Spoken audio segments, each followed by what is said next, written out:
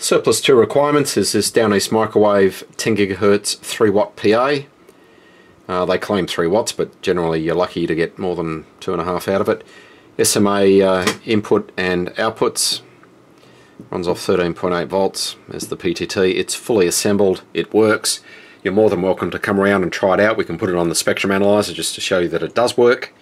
To buy these fully assembled from Down East Microwave, you're looking at 325 US dollars. That translates to 370 Australian dollars plus post. I'm asking $200 for this one.